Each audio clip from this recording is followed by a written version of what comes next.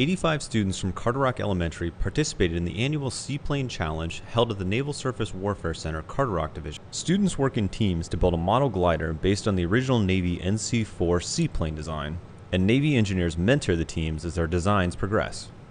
We use the, the design of the NC flying boats and the flight of the, of the NC-4 as an exciting story to build from.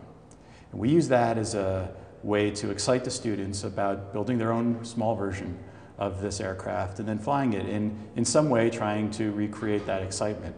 And hopefully some of them will decide that this is something that they want to pursue and, and continue on with through, through schooling and, and beyond.